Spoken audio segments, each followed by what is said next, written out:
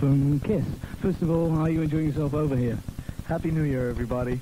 I'm having a great time. I'm here at uh, Saturday's Disco in the Britannia Hotel, and I'm drunk, and I'm getting ready to do an interview with, with uh, Simon? Richard. Richard, that's what I said, Simon Richards.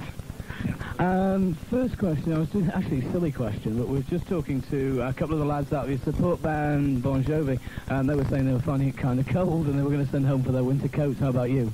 Really? Well, I brought, you know, I mean, I've been to Europe a couple of times already with the band, so, uh, you know, I brought a couple of coats. So I, it, it doesn't bother me, you know? I mean, it's getting into winter anyway. It would be cold in New York, too, you know? Right. You're um, working this tour with uh, out one, one regular member of the band. How's that working out? Has it caused big problems?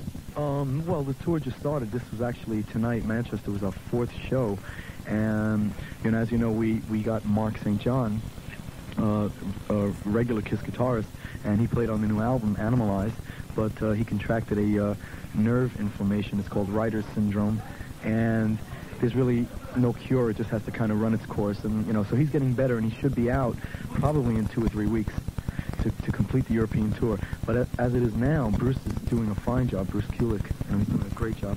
Must agree, I've got to agree to that, having watched the set tonight.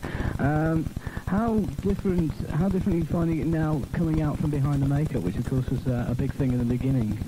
Well, you know, it's great. I mean, this is the second time we've been to Europe now uh, without the makeup.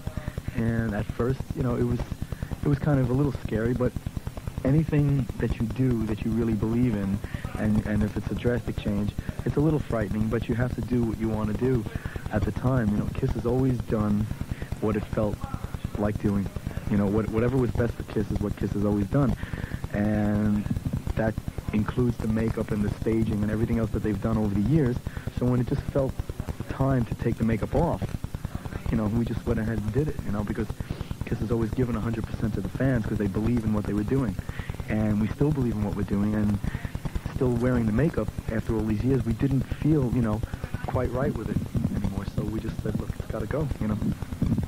Um, I was also going to ask you how how how you finding the audience reaction since you dropped the makeup. Um, uh, do, do, you feel now that you ever really needed it? Because the showmanship that comes out is absolutely tremendous. Sometimes it didn't appear that you needed to play any music, you just needed to be there, stood there. Well, you know, um, the funny thing that most people don't realize is that even if you're in makeup and costume and platforms and all that, after about the first 10 or 15 rows, you can't see what the person on stage has on his face anyway. So for 10 years or 11 years, Kiss has been putting on a hell of a show, regardless of the fact if people could see the makeup or not. You know, people that are all the way in the back, they don't see the makeup. So it's always been the members of the band and the energy of the band that's, that's put Kiss over. Now, because uh, we took it off, it's, it's bringing us a new feeling, a, a new rejuvenation, let's say, you know, because we're actually out there now uh, doing it without any cover-up. And people are seeing that it's the same band all along. You know, the, the critics that have been uh, blasting Kiss for years, saying that all it was was, was visual and nothing more, you know, they're, they're not saying that anymore because they can't, because it's, a, it's an ass-kicking band, and uh, without the makeup, it doesn't matter. They are, the critics that have been saying that, personally, I would say, are obviously tone deaf. Um, interesting question. Uh, question I'm not sure I should ask, but I'm going to anyway. What do you think of your support band? Cover your ears. Oh, what? I'm sorry. What do you think of your support band? They did a really good set, uh, one that I would imagine was difficult to follow um, tonight down in Manchester. What do you think of Bon Jovi? Do you think they're going to be big? Well, yeah. I mean, from what I understand, you know, they're doing very well here in Europe, and uh, the album's doing well, and we were glad to have them. That's why uh, that's why we have them here with us because we, we thought they'd be a good, a strong opening act, and uh, it's good it's good exposure for them. They're a great bunch of guys, you know, and they put on a good show, so that's all that's necessary. Uh, I noticed Gene isn't about. He's a very busy guy at the moment. Uh, I was talking to Wendy O. Williams uh, earlier in the year. Uh, is he doing any more work with that particular lady, would you know? No, he's not, no. Uh, he produced the album for her, you know, and uh, I co-wrote a song, and Paul played on it, and Ace played on it, and I played on it, and Gene played on it, and we sang on it. So it was, it was really for all practical purposes, it was, a, it was a Kiss album with Wendy O. Williams singing, you know, leads over it. Um, but no, you know, that's that's completed. Gene's been working with a couple of other bands producing, and of course, you know about the movie that he did, you know, with Tom Selleck. That's coming out in the middle of December. But uh, right now, all his concentration is on the band. And how long is the tour going on for?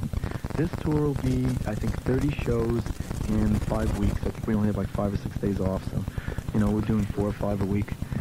Uh, on the, on the actual um, session tonight, uh, you were praising Manchester. How how true is that, or is that something you say in every city, or do you like actually coming to Manchester? Is Manchester a city you like?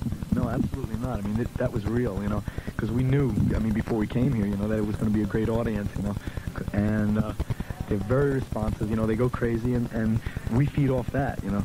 I mean, uh, we're not the type of band to just get up there and kind of preach to the audience and just, you know, you're down there and we're up here, and that's the way it is.